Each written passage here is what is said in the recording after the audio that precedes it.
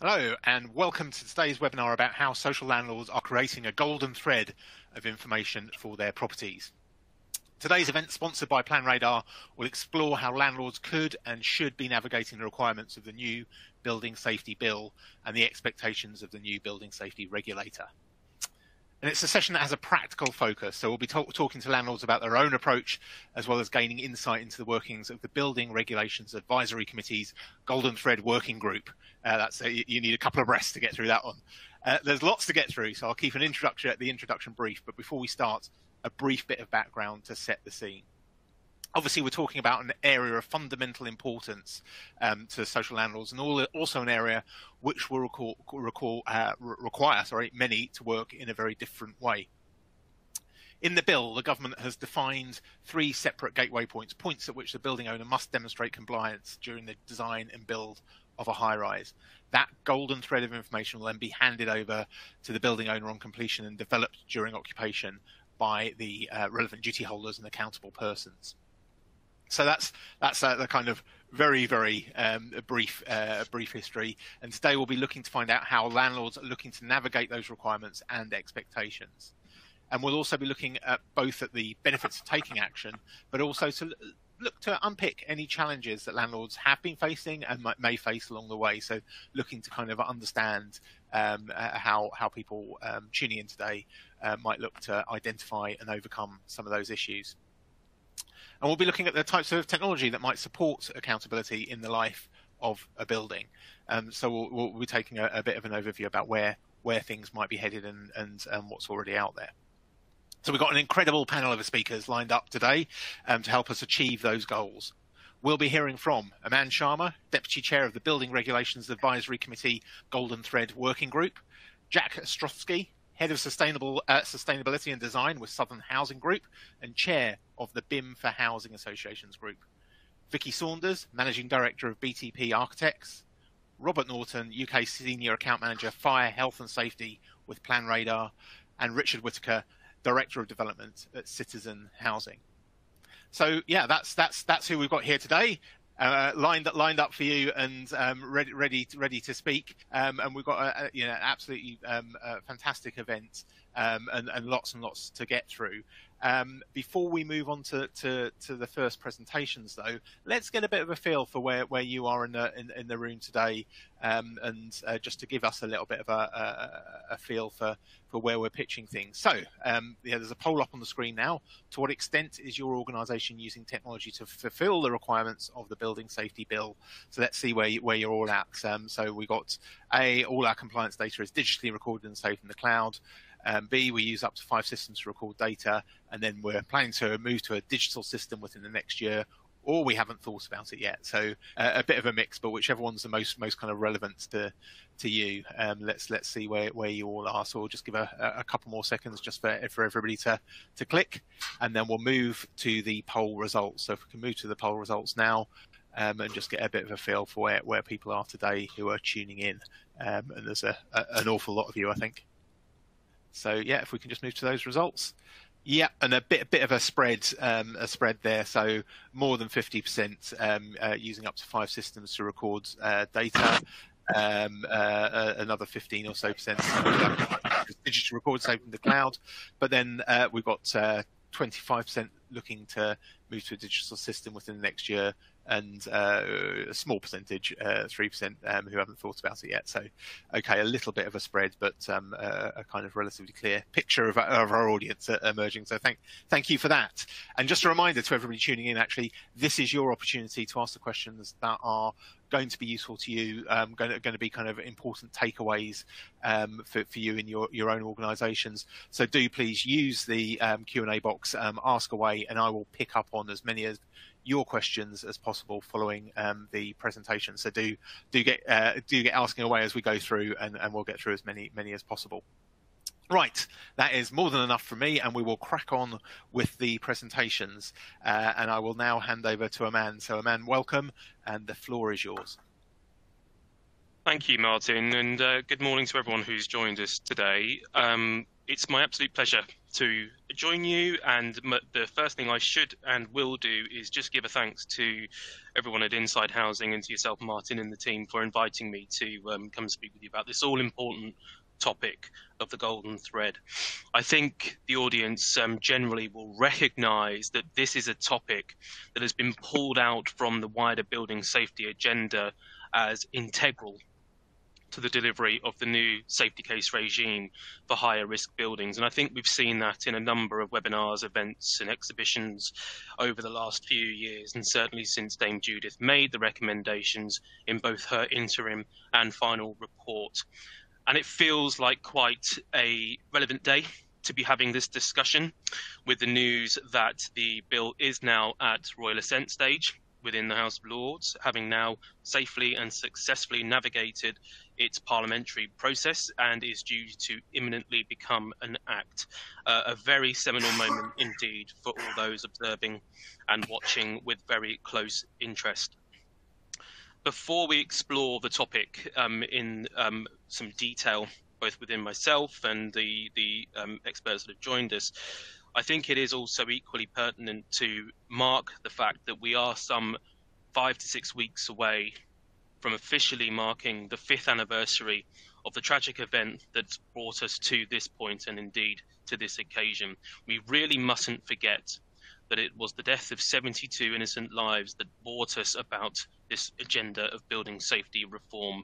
And I'm a big believer that everything we do is in the name of those 72 innocent lives that were lost and to prevent any future tragedies on that scale ever happening again.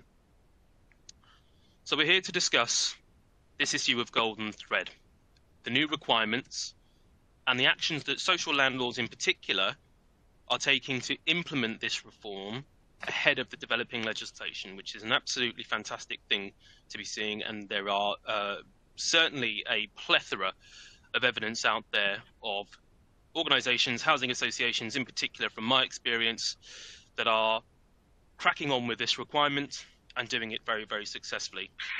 But I want to set out a little bit of overview of the story so far, if I may, which I hope serves as a bit of a reminder for the journey we've taken with Golden Thread so far. As Martin pointed out, um, I have the um, absolute privilege of being the deputy chair of both the Golden Thread Working Group um, but also the main Building Regulations Advisory Committee as well. And it was BRAC um, in conversation with Dame Judith and the ISSG that first raised the issue of establishing a centre point for the development of the policy so that industry could collectively contribute to the definition of the golden thread itself, but also the publication of the policy and working through the various iterations. That was fully established within the back end of 2020 and that working group has been working tirelessly, I can assure you, to produce some of the outputs that I'm sure our audience are very familiar with. The first of which, of course, was the BRAC Golden Thread report published in July 2021. Um, the report sets out some fundamentals, including a ministerially approved definition, and more importantly, the 10 principles that sit and very much underpin the report. And it's those principles that are being worked through currently that will define and be presented as secondary legislation, of which we can look forward to a consultation on over the summer period this year. We also saw the publication of a Golden Thread fact sheet, um, which has been very recently updated, and I would encourage everyone to use your uh, uh, favorite search engine of choice to Google uh, Golden Thread fact sheet and go to the gov.uk website um, to refresh your memories on that fact sheet, having gone through some um, some minor nuances um, by way of change. The reason I mention both those um, materials is because I would encourage everybody to consider both the BRAC Golden Thread report and the Golden Thread fact sheet to be the point of authority on this topic. It is, well, they are both products of industry development, and the contributions from a breadth and depth of industry experts cross-cutting across a number of disciplines, right through from fire and structural safety, all the way to information management, and indeed developer and asset management functions too. Such is the cross-cutting aspect that this policy has. What I'm pleased to see in particular is that industry has taken the lead in a, not only developing the policy and contributing to developing that policy with our official colleagues uh, within DLUC, but also implementing that change ahead of legislation within their own organisations. And I just want to set out a couple of examples of that. The first of which that I'll bring to members' attentions is the L&Q Golden Thread initiative, for which we'll see some of the outputs of that particular project um, later on this year. The Golden Thread initiative, um, sponsored by DLUC, by the way, um, is seeking to standardize the implementation of the Golden Thread, um, taking into account the number of functions that will contribute to its implementation. Um, a significant piece of work that has been very closely managed from a program level um, that has been supported by the BRAC Golden Thread Working Group and indeed main BRAC as well. Um, and I look forward to some of those outputs being made public in due course. Um, we'll hear a little bit more from um, the chair of BIM for Housing Associations after um, my contribution, but they should absolutely the team behind BIM for Housing Associations should be held up um, as industry leaders in this space. The work they've done to enable housing associations to develop toolkits, but also use those toolkits within their own organisations is absolutely commendable. And we are very fortunate to have Jack on the um, on the Golden Thread Working Group so that we can ensure that that cascading of information is a two-way activity. Um, and the last piece I will mention is that um, the, the work that is being done to develop um, national standards and indeed international standards in this space um, should not go unnoted either. A whole host of data standard development has taken place to help enable the process that we've been describing. And I personally have the privilege of chairing um, a BSI committee developing BS 8644 Part 1, which is attempting to bring together the very tricky areas of fire safety and information management. And 8644 Part 1 um, will be published later on this year, and the team behind that that has been um, furiously working away to publication, um, I, I want to thank them publicly for all their efforts. Before I wrap up, though, um, just um, one one point on the principles that I mentioned earlier on, and something that I think I hope will be of value to members listening today. Um, the delivery of the golden thread, I think, is pretty much at the stage we're at now. We have a definition, we have those principles, and we are developing our thinking uh, within our own context of our organisations, of course, of what this will mean for ourselves. Um, and ex- uh, inextricably, I think it is fair to exercise a little bit of a warning that in the conversations that we've been having about the costs that this will um, uh, inevitably uh, realize, both for our residents but also for our organizations as well. Um, there will be no one digital solution that can deliver upon the total requirements of the golden thread. Um, I like to think of it more as an ecosystem with separate functions delivering separate needs that will ultimately be able to demonstrate to the regulator in the future that your fire and structural safety information is being managed in accordance with what the new requirements will be. Um, and that may be a, an overly complicated way of saying that everyone's golden thread will be unique to them so long as it meets the requirements as set out in future legislation, which we um, can learn a little bit more about, obviously, over the summer period in the consultation, but also in the BRAC Golden Thread reports as well. So um, I would encourage, the last comment I would make is just to encourage everyone to watch very closely for the publication of that consultation um, and importantly, uh, respond to it because the more response that we get and the more response that we see to analyse, the better the final product, of course, the secondary legislation will be. So, Martin, that brings me to an end, and I um, wish every luck to our other presenters and look forward to uh, a Q&A session towards the end. Thank you. Thank, thanks very much. And uh, so, yeah, a, a, a, reminder about how to, how to uh, what to look out for and, and, how to get involved, but also a really, really powerful uh, reminder about why it's so important. So th- thank you so so much for that. Thanks, Amanda. And um, uh, just a reminder to everybody who is listening in, um, do use that Q and A box to make sure that we answer the questions that are most relevant to you, that help you um, in your thinking, and and uh, take back to your own organisation. So um, yeah, get those those questions coming in. Thank you very much, Amanda and Jack. Welcome. Um, uh, the floor is yours. Uh, thank you very much uh, for that introduction, and, and uh, that also that my gratitude to to Aman for that nice uh, segue into um, the, the, topic, and hopefully you can see my uh, basically well, not exactly plagiarism because we're supposed to be looking at this. It's the golden thread principles that have been summarized. These are the outputs of the Building Regulations Advisory Committee uh, you can see there that it's part of the overarching challenges around culture change. Uh, we've got to deliver. We must deliver this, not just because it's going to become a compliance driven uh, fact, but in, in my opinion, the, the risks that are being addressed by the legislation, uh, the risks are already here. And what we want to be able to do is deliver really good information, extracting it from the development process and providing it and then replenishing it throughout the life cycle of that asset. we really want, of all of these 10 principles, I think that the most challenging, important and, in the kernel is that single source of truth. And if we just pause and think a second about, and, and also referencing what Aman had pointed out, that there's always going to be an ecosystem of information containers, information container being software, spreadsheet, et cetera, et cetera, et cetera. All of the things that we use as social housing providers to keep information, how can that be a single source of truth? That is the challenge to be overcome to deliver the golden thread uh, amongst everyone. But I think this is the core of it all. So uh, this is, I think, a really good reminder of how this problem existed way before that tragedy that Aman pointed out. That uh, we shouldn't forget all of those people that have. You know, that are no longer with us and that have been the catalyst to drive this immense change. This is the biggest change to the, the regulations, to the building regulations, since I think 20, 30 years. Um, regardless, take a look at this. I think every social housing provider has opened up a set of plans. And uh, this is a real life example of something that I experienced where there's a problem with the heat interface unit. It hadn't been repaired for a long time. And the local councilor had been uh, notified, and then the CEO cascaded a, a, flurry of emails. And then I was charged with, uh, okay, find out what the problem is and resolve it. And so I'm being a, a surveyor and a technical manager. The first my first protocol is look at the plans. This is no block number, no flat number, no cross reference to these schematics. So here we have a bunch of, uh, you know, first looking at it, that's a bunch of gobbledygook.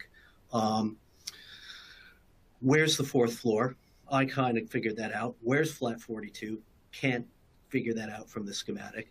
And Dame Hackitt said at a conference in February 2018, you can see the quote there, asking asset managers to maintain a building without good asset information, without the golden thread, is tying a hand behind their back. I might disagree with that only in the point that it might be two hands because you're driving blind, maybe with an eye patch. Um, so, what did I have to do to find out where that HIU was on that schematic? I had to go out on site and I had to cross reference for the physical inspection uh, just to find out how that particular HIU fit into the rest of the system. Um, this is an example of typical information and what are we going to do about it? What is Southern Housing doing about it? What does BIM for Housing Associations recommend that you, you, you, can do to start to build up that golden thread so you don't have to go through this very painful process? You know, the, the key really is the metadata. This is going to be a very core filament to the golden thread. And that is where you want to be able to associate all of these things that are listed on this slide with the flat number or the unique property reference number, not the one that the government has, but I think just about every housing association has a unique property reference number system that's particular to themselves. Uh, everywhere I've worked over the years certainly has them. And that metadata to associate the components that are relevant to safety with the spatial aspect of the building, that is going to be, in my uh, I forecast, that's going to be where the health and safety executive is going to interrogate your golden thread. And you find stuff in your buildings, in your data systems, and then be able to tell them that it's been maintained or installed properly in the first place.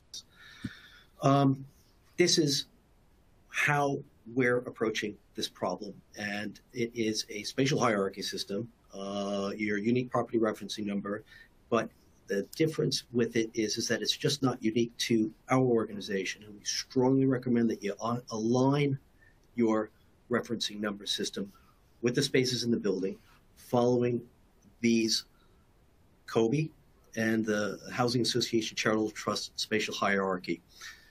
This is not the place to go with, into this in detail, but this is a signpost here. And then you can see that there is a funneling effect of the property referencing number and the spatial aspects of the building. You've got a core there in the numbers. Um, don't want to spend too much time on that. Want to quickly move on because we don't have a lot of time. Here's an example, an output of that process that we're applying here at Southern Housing Group. Uh, a lot of the other members of BIM Housing Associations are doing a very similar way. They've adapted it slightly differently because they have their own management systems, but they've aligned it with the external standards. UK Housing uh, Housing Association Charitable Trust and the UK BIM framework. A little bit more on that. Here we have an interpretation of the UK BIM framework that's been adapted for social housing use. Whole bunch of detail on that slide. Uh, the big high, the big takeaways are that there's organizational information requirements. They inform your asset information requirements, and that informs your asset information model. That is very much what the golden thread, the three boxes underneath it, and what populates that. Um, go to, to the UK, sorry, go to the BIM for Housing Association toolkit. There's a lot of explanatory documents to explain what this is. Um, that's a high level principle overview of what that is um, useful for. There's an implementation plan for you to look at. Uh, that's aligned to the gateways, that's aligned to the development process, it's aligned to the asset management processes. And here on the CDE slide, uh, which is slide 12, just in case I've jumped ahead too far, is how we're deploying this for our development program. Uh, we have a very common SharePoint. Uh, we have, instead of allowing our development supply chain to own the information, we are now instructing all of our designers, uh, architects, uh, engineers, uh, to develop designs up until going to tender for contract in a common data environment that we as the client control. That has been so revolutionarily powerful for us to keep track of every little detail, conversation, changes to the plans, the evolution of the plans, who's responsible, who's accountable for making decisions up until contract. Of course, when you tender something out in a design and build way, uh, the main contractors want to keep control of their own information for commercial reasons and for practical purposes. We don't really want to be nosing around what the contractor is doing in their environment. But what we are requiring at Southern Housing Group is that our contractors publish into that common data environment that we still control.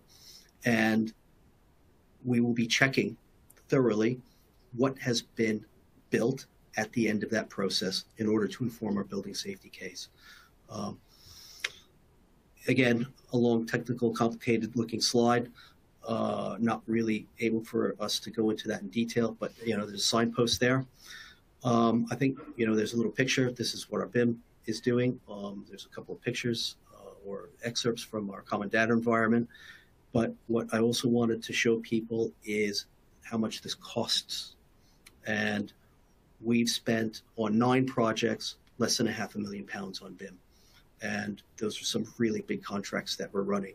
Really, the percentage to take away is less than 1%. So for anybody to come and say there's a huge amount of cost to de- deliver BIM, um, one of the reasons why this is so much less than what we had expected, I think, when we started on our BIM journey, is that our instructions to the supply chain are clear and concise. One particular project was where the architect that the main contractor had given us didn't really understand or interrogate the documents in their contract, and they came to us and said, "We're going to model every a wall tie on the external wall, and it's going to cost that alone is going to cost you two hundred thousand pounds." And we said, "That's not necessary." We told them what was important. That comes back to that relevant proportional principle of the uh, golden thread principles. Um, the next slide is what we're working on now with BIM for Housing Associations and in Southern Housing Group is the asset information model, which is where we're going to put all of this information that we're developing from our supply chain, that we're developing from the building safety cases that we have on our high-rise buildings. And there's seven uh, relevant areas of that information model where we can associate the documents the repairs, the components, and the systems and the works orders pertaining to those when it's in the asset management phase with the spatial location and, of course, the relevant parties so we know who's done the work. That, in uh, I think, quite neatly encapsulates what the, all of the key elements of the golden thread that are relevant for us. Um, that's an open source data model that everybody can access now. And if you'd like some more details, you can contact us on, on where you can uh, access that, take a look at it, um, and, and use it. Some housing associations are already employing that uh, to instruct their supply chains, their software supply chains to, instead of doing software that suits the software provider, it's software that delivers the golden thread. But, you know, as Aman said, there is no silver bullet out there. We're still working, I think, as a complete sector on how we're going to deliver this. So um, this all goes back to delivering that single source of truth. That's uh, the penultimate slide. Uh, hopefully, I haven't gotten ahead of the slides too far. And golden thread principles again. And thank you very much. Uh, for any of those details in the slides, there's some links there for you. And I will happily hand this over to uh, the next presenter. Thank you for your time and attention. Thank, thanks very much, uh, Jack. Uh, yeah, re- re- really fascinating presentation and lots of questions. Um, I, I, I, think um, uh, uh, uh, emerging as a result. Certainly, some coming in now. Um, and just a reminder to, to, everybody tuning in: do use this as your opportunity to to, to, to ask questions that are going to be useful to you. So um, do use that Q and A box as we go along. Thank you very much, Jack. Um, Vicky, welcome, uh, and I will hand over to you. Right, thank you very much. I'm Vicky Saunders. I'm Managing Director of BTP, and we have been working alongside a lot of our clients trying to actually deliver the information and make sure that we're getting it right and how that information is recorded and making sure that what goes on in site is sound practice. So I've obviously 25 years experience in all sorts of retrofit. We've uh, accredited with the BIM and the ISO anyway, enough about me. I'm sure you can read. Uh, moving on to Bowland House, I was just going to use a couple of case studies just to describe sort of where we're actually at in actually trying to make sure that the information, I liked the word the truth, and for me, the truth is actually what is being done at site level and making sure that the paperwork process matches up and marries with the uh, nuts and bolts on site. On Bowland House, uh, we set this up as a pilot with Great Places, and we used the metadata behind the model. We used Revit, and we exported it out, working closely with Clerk Works to record all the components and try and make sure that we understood where everything is and what state it was in, with the idea that we could use this and move forward making sure that the client, Great Places, has accurate information once completed. We have also subsequently moved on to do the EWI, and this is the uh, the the building now as it's sort of the scaffolding is being dropped and it's being finished, and a great deal of care and attention has been um, paid to making sure that we have recorded, you know, the fire door installation. This is a checklist, and we are making sure that actually what are we doing on site and what we're seeing is actually logged and recorded and able to be extracted via. We've reverted to Excel uh, drops, you know, taking out the information via Excel for the client to integrate it into whatever system they have. And it is a it's a very valid point to say that there are an ecosystem of information uh, because we've not yet not yet got one point of, of all the information being gathered together, and we're practically working through these uh, tower blocks and recladding, fire, and the rest of it. Another project I was going to just use as a case study was the lighthouse because this was a fire that shortly uh, took place after Grenfell and one that we've been involved in in recladding. And the what is absolutely astonishing is the and these are pictures of before. Hopefully, not you can see that this is what we're actually dealing with. And what is most alarming is the construction. taking back. And it's not just fire that we've ended up looking at. We've ended up looking at a whole host, the SFS, the uh, the cement particle board, and I think you can see in the top flat there, we've actually got back nearly to the internals of the internal of the flat. The uh, the one which uh, actually shows sort of panels missing off on the silver panel between the, the, the floors on the left hand side, the little red squiggly line. Believe it or not, that is the fire barrier, which is not even in the right place, and it's not even for the right. Um, it, it, was not even for that type of construction. It was for masonry construction. So it was shocking. And one of the things I would say is we go through the process of evaluation, opening up and trying to understand. But till you've actually peeled back the layers of the building, you have, you know, there's a lot of unforeseen elements. So we have been busily working away, carefully recording and making sure that all that we're doing in terms of the replacement and the strategy is well documented and well recorded so that the client and the residents who you know who own these properties can actually be sure that we have got a building. And it's you know it's not just the fire it's also involved an awful lot of good practice in terms of materiality understanding fixings repairing sfs so it's been a huge undertaking which is almost like pandora's box. One of the for 10 years we've also worked with the moj and they have a system of their COBie drops. They have uh, their own sort of bronze silver and gold of the level of information that they require per project. So this is kind of quite a useful precedent uh, that we're working with and how they want their information uh, dropped you know sent to them via excel. And really i think that sort of the key messages are for me is that being involved in delivery, you know, what we've the pit one of the biggest pitfalls I can see is that the paperwork must is is is, a, is good, all the checklists and everything, but the truth is, the real truth is, is what actually are we building? And having opened up, I mean, we're working on over, um, gosh, over twenty odd projects.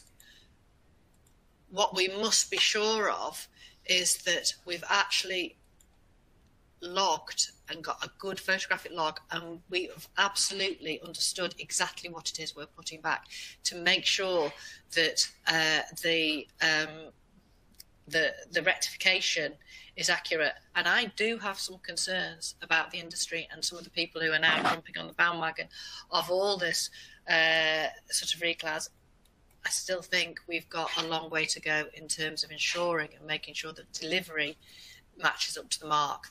So, are there any questions uh, regarding mine? And I'll hand you back to Martin. Thank you very much. Um, some some really um, shocking pictures in there, but uh, uh, yeah, absolutely an example of where where things are at, um, yeah, Pandora's box is, is, is, definitely a really good um, description, I think. Um, thank you very much. Uh, and uh, yeah, there are uh, lots of questions coming in, um, so please do keep them um, coming in. Just point you in the direction of the, the that uh, question box, and we will get to, uh, like I say, as many as possible. Uh, as, as, soon as we've finished the presentations. Thank you, Vicky. Um, Robert, welcome, and I will hand over to you now. Perfect. Thank you very much. And obviously, thank you very much for everyone joining us today and, and for the previous presenters as well. So we're something slightly different. So I'm actually working for PlanRadar. What we are is a digital solution that's used on the construction sites from the actual contractors and developers to capture the information based off of the golden thread in a really easy to use format that anyone can pick up and adopt within a matter of minutes. Now, the platform that we offer and deliver is completely customizable and bespoke through from the delivery and the design processes all the way through to handover and for facility management as well um, and asset management towards the end. We work with clients like Arup, IFC. Um, so obviously with that, it's the main contractors, you know, doing the work, the developers actually going through the construction phases, all the way through to individuals on these sites as well, doing the fire stopping, um, the EWS1 inspections, and the compartmentation reports and so on and so forth. So again, we're working with all elements in regards to this build cycle through to the handover. Um, so everyone has this open source for collaboration and communication. The platform itself as well, I know that people have obviously mentioned that you need to be part of an ecosystem. So everything that you're sort of capturing within our platform can be exported out either via a CSV file, so your Excel, um, a PDF report, or actually integrates with any other platforms that you've already got or the main contractor is using as well there. Now, I'm sure by now you probably know exactly what the golden thread, but it's all about keeping hold of accurate and up-to-date information at any sort of time and making sure the right parties are accountable for the work that they're carrying out. Now, we go down into the granular piece of information of which specific individuals, of which contractors were on your sites capturing information and at what time. Uh, within our platform, we offer a completely tamper proof audit trail of every single occurrence happening within a project. Obviously, what is making up the golden thread? Uh, obviously, this is the, the, new building size, obviously the heights, the structure, um, the fabrics and the materials being used. There's obviously Vicky has just highlighted a few moments ago as well, uh, making sure that the right material is being used on your sites, on your projects, and again, just having this up-to-date record and back and forth communication. So obviously we've mentioned that we're going to be used for the actual the construction phases, but with this as well, we can also be used for actually for asset management and those regular routine inspections on things like fire extinguishers as an example. Now, a few of our clients are using um, the NFC technology, uh, so that is a tag put onto things like the fire extinguishers or fire doors. So you can create a completely tamper-proof audit trail based off of that individual item, either with a pinpoint on the plan or an actual NFC tag directly on that. Now, if you were to come in and scan this, or you were going to go and doing your own inspection, or someone else came there in the future, they'd be able to hold up their smartphone or their devices and read the full audit trail as well that's based around that.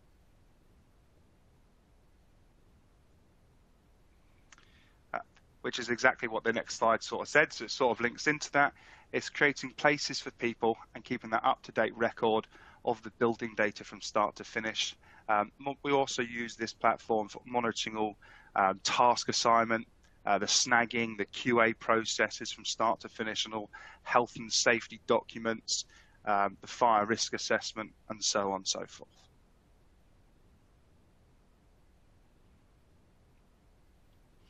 Here we are. This just is a bit of an overview of what we sort of do there again for the fire doors, um, the passive fire protection, accurate linked um, records of specification, uh, the fire test evidence, uh, certification is all tracked and monitored in one platform. Oh, sorry, just skipped through there.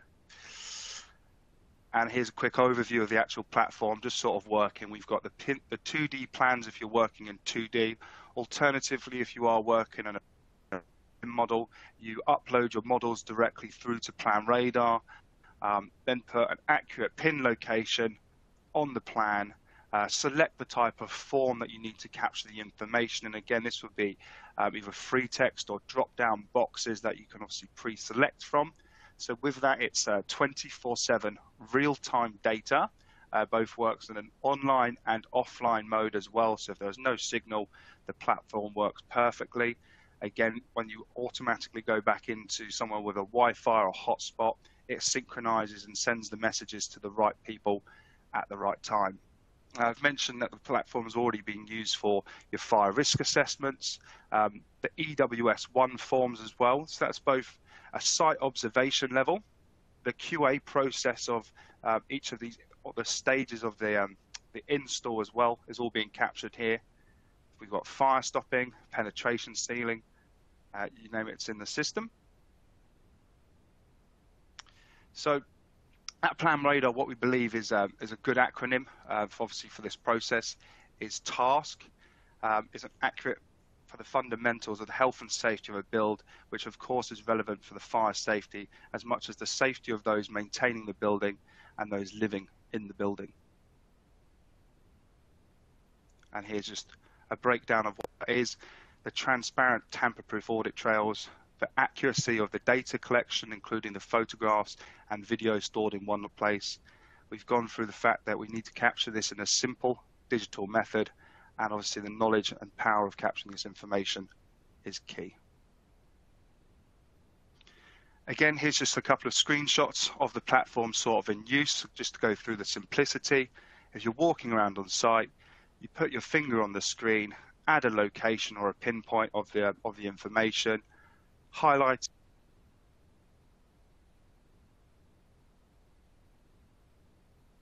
it, annotate it in any way, and then you can send this through to the subcontractors or the person responsible to carry out the work. Into the setup of the platform, um, within this system itself, you can actually make it so that only certain individuals or the clerk of works, as an example, can actually sign off and approve certain elements within the bill phasing, um, or so on and so forth as well. As you can see um, from that screenshot halfway down, approved by the clerk of works. So only he can sign it, he or she can sign this off the system itself, if you're look, using this throughout the construction phases, um, has a 900% return on investment. Approximately seven hours per week are saved using the system. And how we sort of see PlanRadar is it's a black box of everything occurring on site. As you can imagine, if you were to come onto this building in 10 years' time and look up certain bits of information, you can instantly and immediately access this data. So it's the what we see as the black box for the built environment. And thank you very much. Appreciate your time. Thank you, thank you, Robert. And we've got uh, a, a, whole load of questions coming in. Um, just a reminder to, to everybody to, to get them in. We we will we'll, um, come to them very shortly. Um, but before that, uh, we have got one more presentation. And Richard, uh, welcome. And uh, the floor is your, yours. It's over to you. Ah, thank you very much. Uh, I'm the Director of Development for Citizen. Uh, I'm responsible for operation delivery of our new build programme, 758 units this year. I won't talk about Hackitt, building safety bill or regulatory reform, that's done. But what I will say is, you know, necessity dictates it, good practice dictates it, and customers deserve it. And the really important thing for me is timing. Uh, I'm retiring in four years. I'm sure it won't be done by then, but I'd like it to be in place before a lot of you guys retire. I've been on this journey for eight years and we've learned quite a lot.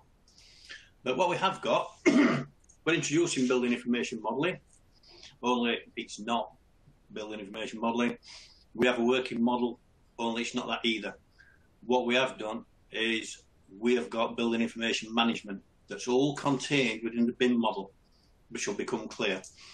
And it was interesting in the fact that we had a lot of experts advising us and things like that, and we recognised very simply, uh, very quickly that we didn't have the skill set to adopt it, manage it, and update it. So we've gone for what we call a BIM light model, uh, which is working, and I've got it on 16 sites. So we've got a BIM execution plan uh, that aligns with RIBA stages. We've got a contract specification to including tenders, and we've got a pre-start program. And if anybody would like a free copy of any of those, please let us know and we'll issue them accordingly.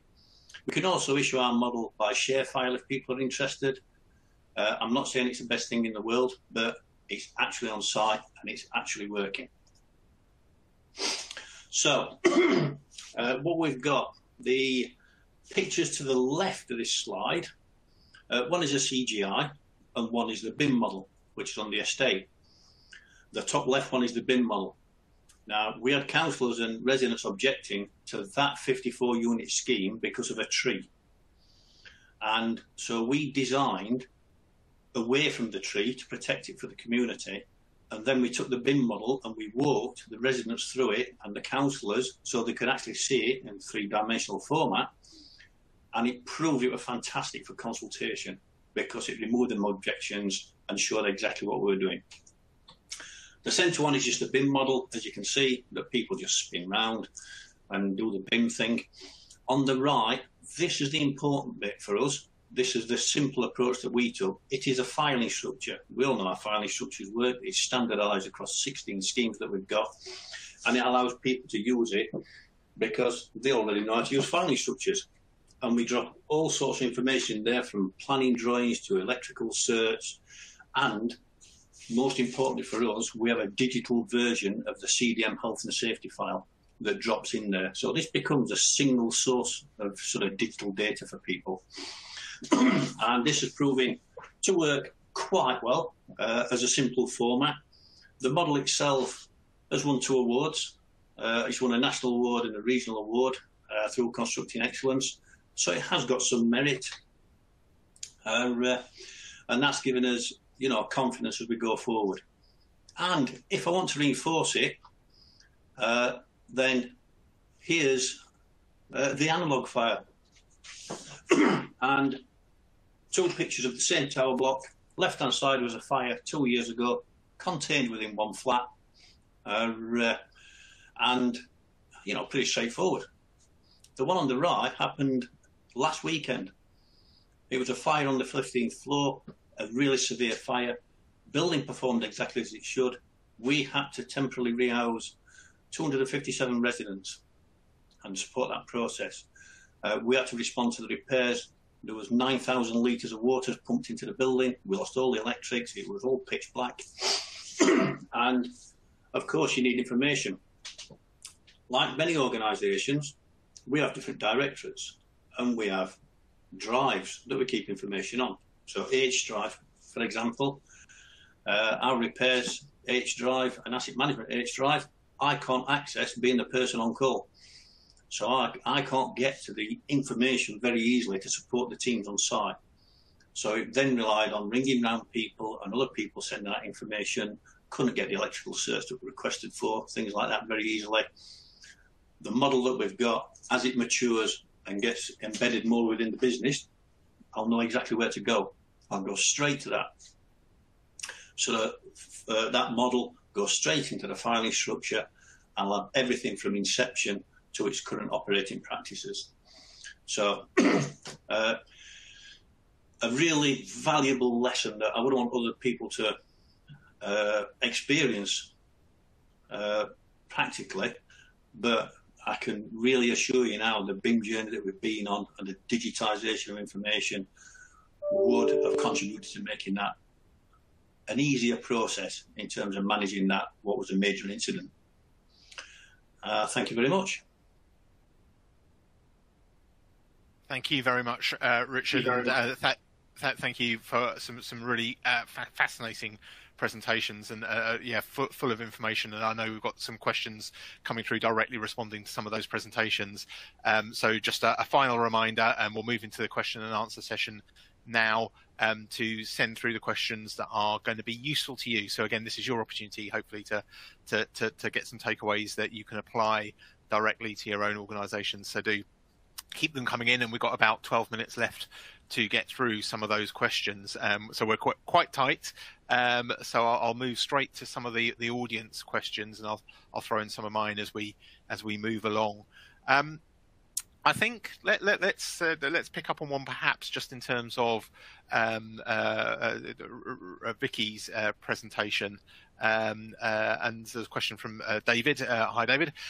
given that so much has been built using design and build, and given the often poor change management recording, does the client need to commission real as-built surveys on completion rather than relying on the last issue design records.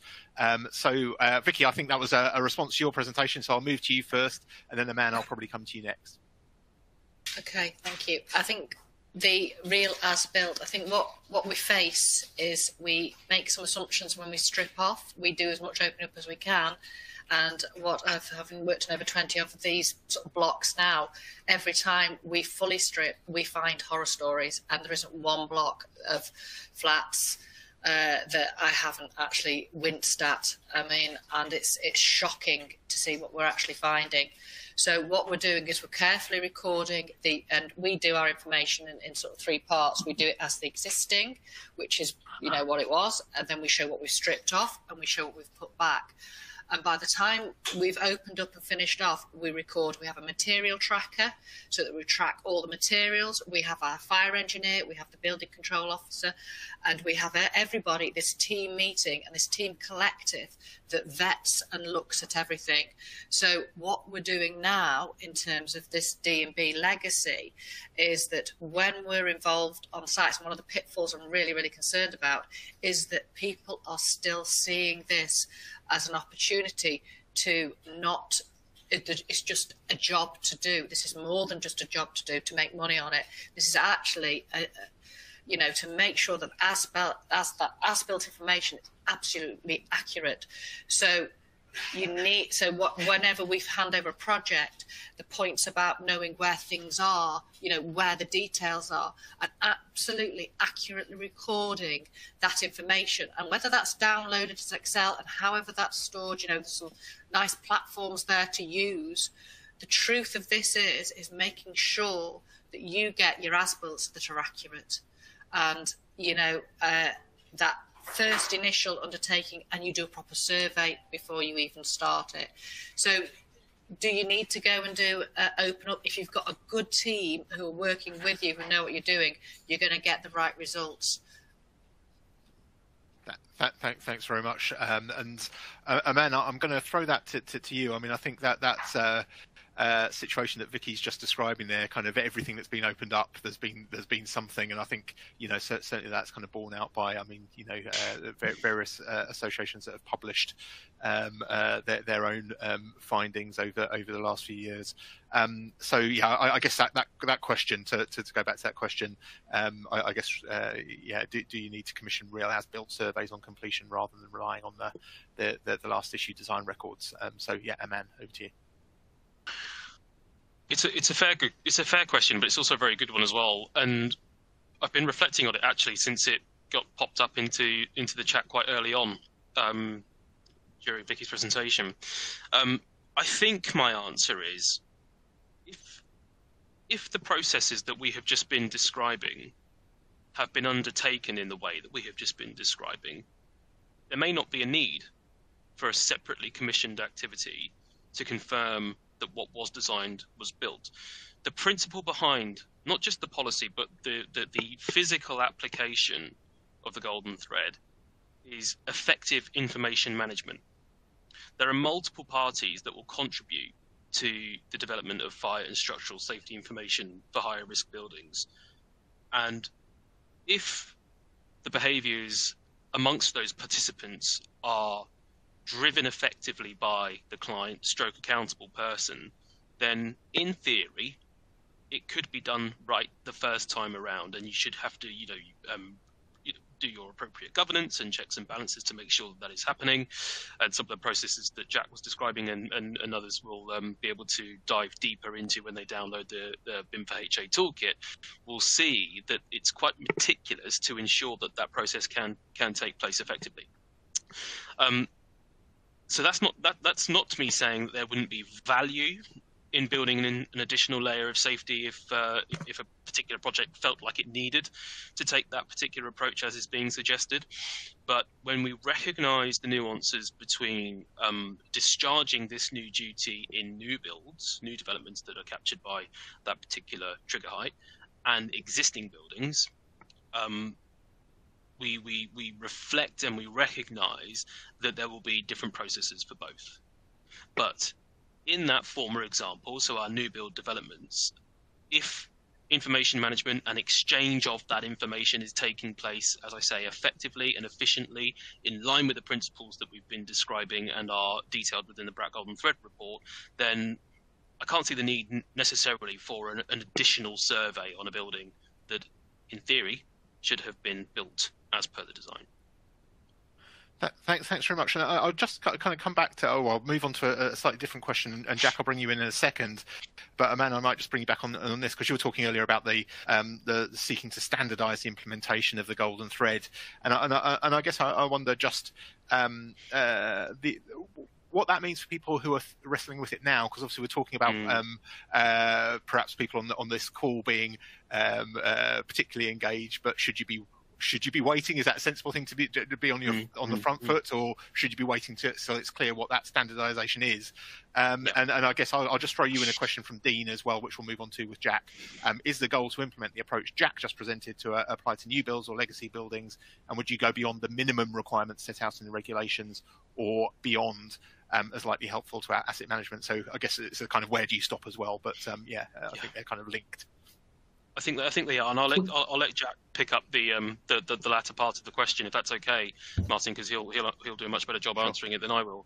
Um, but on on the first part, um, c- can I preface my answer with I understand and I am sympathetic to those organisations that feel like they've had their um, fingers burnt from the um, the core message of get on with this now before the legislation is in place, and then the subsequent amendments that went through the House of Lords, much of which was wholly unexpected, um, and now is having some ramifications throughout um, the application of those requirements. Can I just remind people that royal assent um, has been assigned to the Building Safety Bill, and the golden thread is a requirement under the primary legislation, the bill itself. So as it becomes an act, this duty is coming.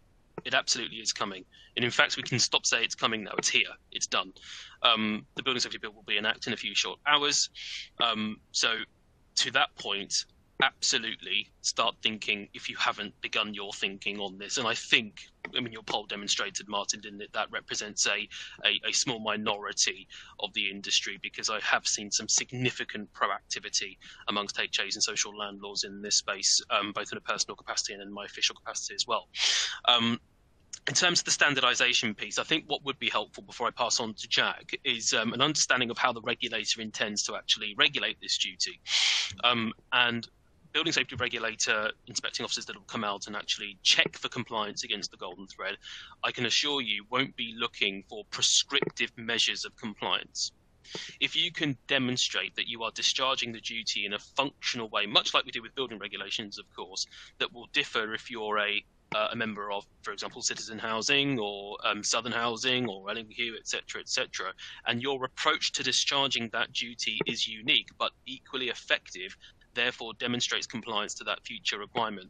That is what those regulators are looking for.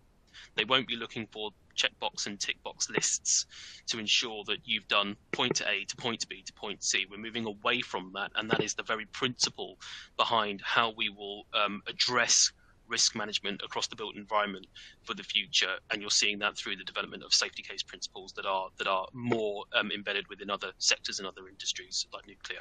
Um, so I hope that's helpful. I hope that's clear, and I'm happy to take um, some uh, some responses back on that if needs be. really clear. Th- th- thanks very much, man. And and and uh, yeah, Jack, I'll move to you with that question about going beyond um, and uh, there's also a question from Lola. Um, the Building Safety Bill Impact Assessment Report refers to BIM one. Is it essential that landlords use BIM for the golden thread? Um, so, so Jack, um, uh, over, over, to you. And if, you, if we can keep it relatively brief because we're, we're, we're, running yeah. out of time now, I think so. Yeah, yeah. I, I, I think the answer, you know, even why enthusiasm for BIM, is it going to be law? Is the law going to say you must do BIM? the answer is going to be no, because the law is already there. It doesn't say do that. But uh, what Aman was uh, outlining is that there's going to be a, a, variety of ways to discharge your duties. The most efficient way, I think, is BIM. BIM is part of the Building Regulations Advisory Committee discussion, and doing that, deploying BIM, is not going to be wrong it's going to be one of, and probably the best way, the most efficient way, and it's going to provide a whole bunch of ancillary benefits. I think, you know, what uh, to take the example of uh, as-built drawings. Uh, you know, sometimes I joke around that you know you get handed over at, your, uh, at the end of a project, they're as last drawn, and they often don't reflect what's in the building. The drawings are usually not the real problem; it's actually the products or the specifications. But sometimes there is deviation there what the Golden Thread Initiative is, uh, I think, as a theme, if I'm not mistaken, is a thing called the visual record. Um, that's something that you can build up over time throughout the project. So you will have, there's all sorts of different technologies emerging for solutions for that. PlanRadar is one of them that we, we saw that's quite interesting. And there's, uh, there's cameras that go on the clerk of works heads and as they walk around, then there's a 3D visualization. Every time they do an inspection, that gets layered up. Uh, one of the things I'd also just like to throw in there is about a remedy towards that building information at handover is that you can amend your contract. You could say to your contractor, if you don't give me the pictures, if you don't give me the information, and I have to open up, I have the right to open up now at your cost just to verify. And if it's right, you still have to pay. That's in our contracts now. That's a common uh, amendment. So that is going to compel the supply chain outside of BIM give you the information that you require to say to your building safety case inspector, it's safe. So, um, but all of those things that I've just mentioned are going above the regulations. Every single one of those is the, the regulations are broad brush. The law is broad brush. We're the experts here. The government has told us in principle what outcomes are required. It's up to us to figure out how to do it. Thank, thanks very much, Jack, and uh, a, a, really detailed answers, so uh, very much appreciated. We're almost out of time. I'm just going to throw Robert one one question at you because we we obviously heard Aman talking earlier about the uh, the digital solution ecosystem uh, and how that's going to work. And there's a question from Daniel that's come in, which is, um, does the the PlanRadar system work with other models too? So uh, does it fit into that? How does it fit into that ecosystem? If we can keep it relatively brief, Robert, because we're we're pretty much out of time. So Robert, over to you. Yeah, of course. Because um, PlanRadar is completely customized and bespoke, you can obviously keep the existing platforms you have in place. What you do with the, our platform is configure and customize the metadata fields to the questions that you're asking. And as long as these um, replicate the ones you're using in existing platforms, the information can be integrated and transferred from system to system uh, automatically or obviously exported into Excels or imported via Excels into the platform. So the answer is yes, it will fit in well with your ecosystem. Thank you very much, Robert. And um, I, I, am really sorry we are out of out of time. Hopefully, we've got through a decent cross section of your questions. Um, so, what remains for me to do um, is to thank all of our panelists for some really um, yeah fantastic and fascinating presentations and some some great specific answers to your, your questions as well. Um, thank you all. Um, thanks to PlanRadar for enabling this to happen today, um, and thanks to you all for for tuning in. Um, so yeah, thank you all very much, and see you very soon. Thank you.